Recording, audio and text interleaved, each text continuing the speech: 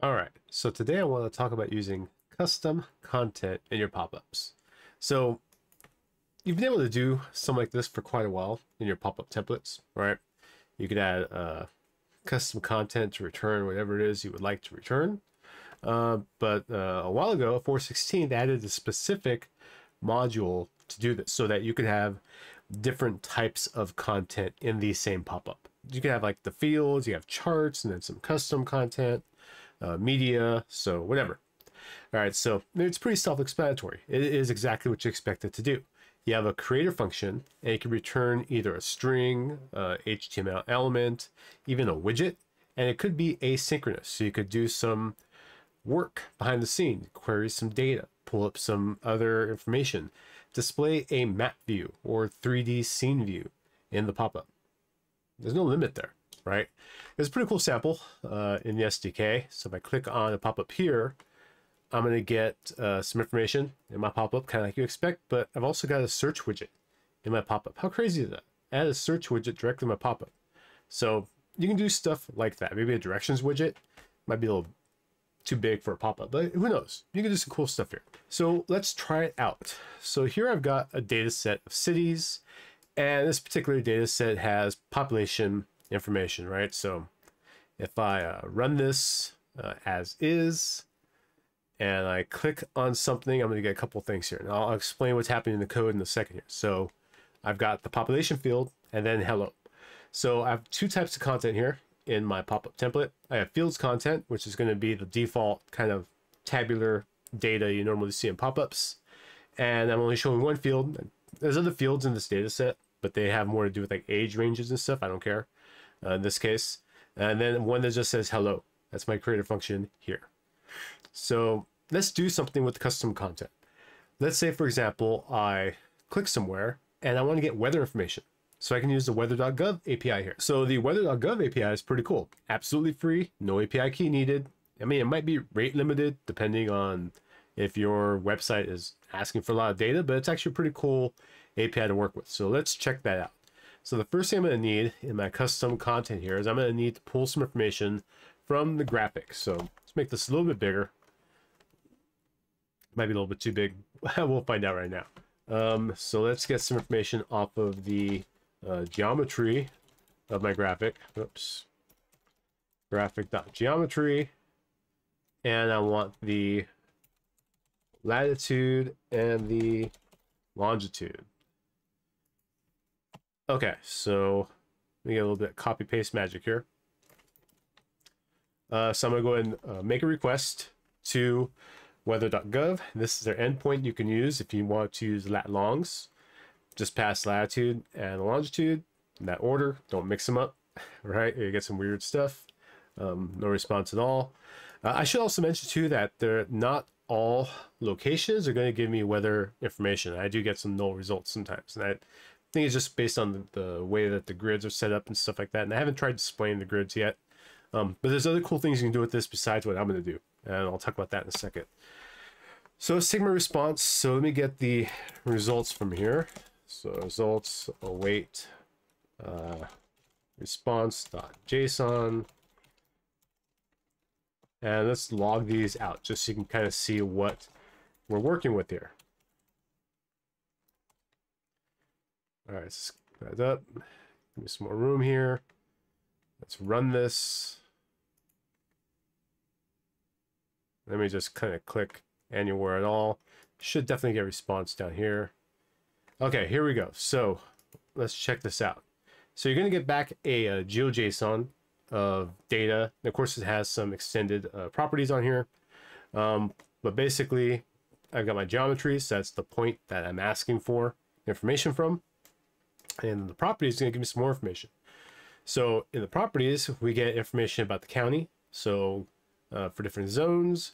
And we have these different forecast information, the fire, weather zone, the forecast, forecast good grid data, the hourly forecast. I don't know what offices are. I think this is kind of cool. Um, might want to play with this at some point.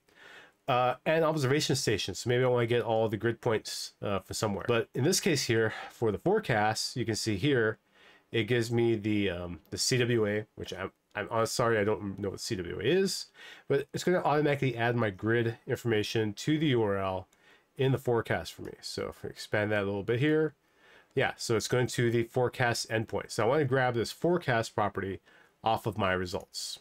Okay, let's do that then. Get rid of that.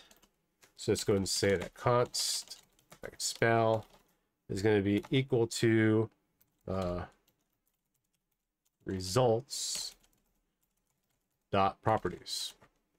I want the forecast property. Forecast. There we go. And at this point, now what I want to do is make another fetch request. So we're going to call this the, it's called forecast response. It's going to be equal to await fetch forecast.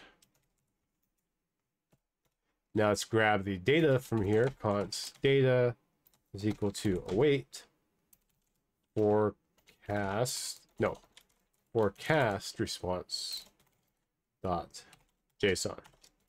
Boom. Okay, so now we got some data sets here. Uh, let's log this out just so we see what we got.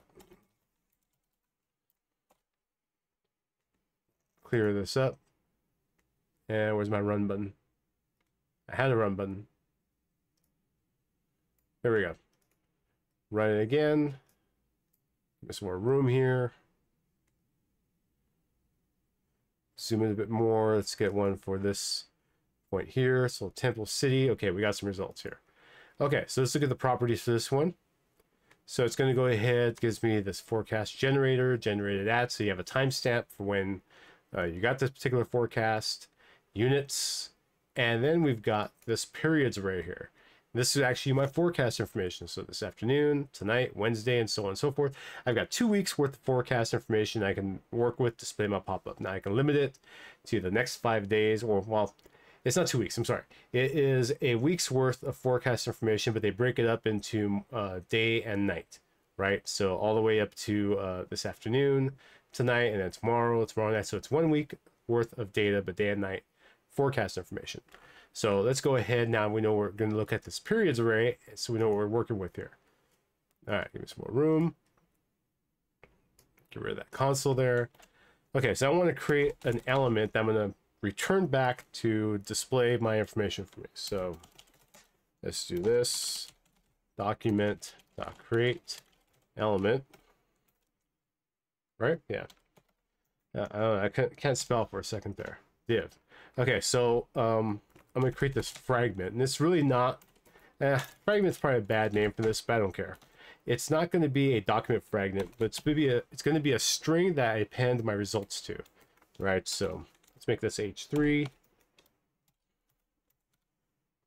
like so, and we'll call this weather forecast. Oh gosh, come on. I can spell eventually. Great. Okay, so now let's go and loop over that. Um, now my return is not going to be hello anymore. I'm going to return the element. And I'm going to say here is I'm going to say the element dot inner HTML is equal to my fragment. All right, which is again, it's not really a document fragment, just text, and I'm creating DOM stuff here. So yeah. Uh, okay, so I can do this now. Uh, run it and click on stuff and it's just going to return back um, stuff.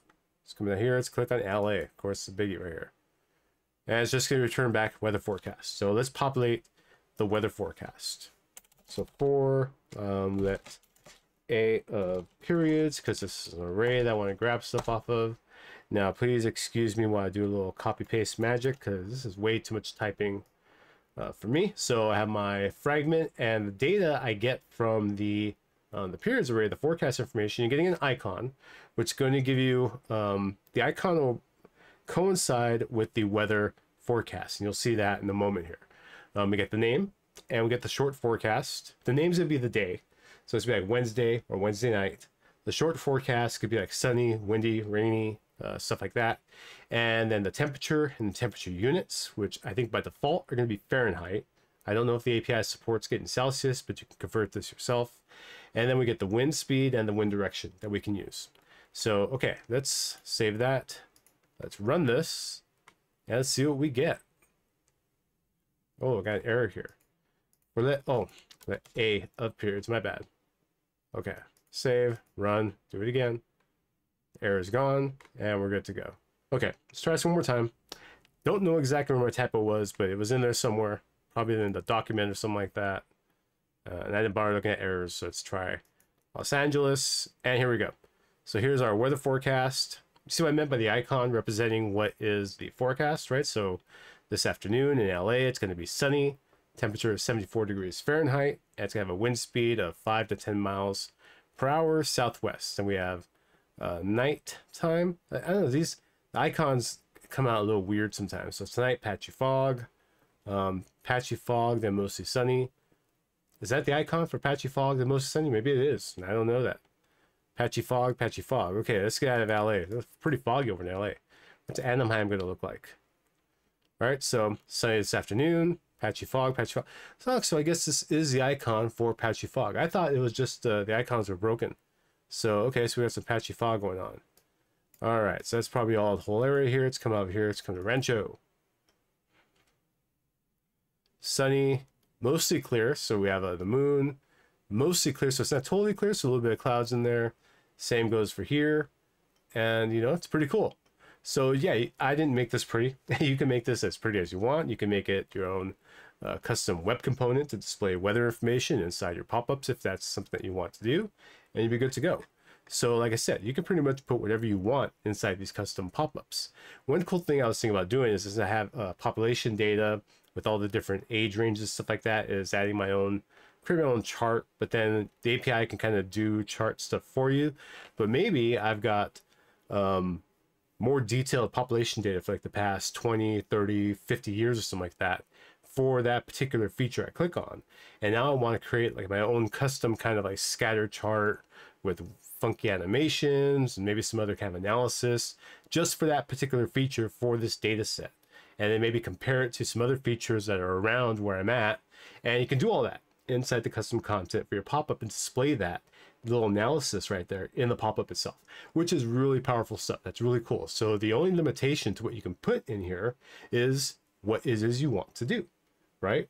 Uh, I even have a video and a blog post on how to put use React portals to add React components into your pop-up. So you can use that here if that's something you want to do as well. So there's a lot that you could do, right? It's uh, just up to you and your imagination and what it is that your needs are. So try it out. Um, now, if you have any questions, please let me know. As usual, uh, leave a comment. Uh, don't forget to like and subscribe the video. Thanks a lot. I'll see you next time. I just want to let you know that I've started a new podcast called The Bounding Box, where I'll be talking about geo development, web development, and everything in between. You can find it on Apple Podcasts, on Google Podcasts, Amazon Music, and plenty of other places that you can find podcasts.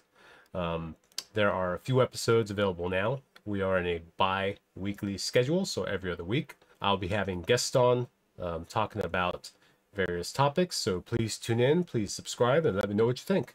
Thank you.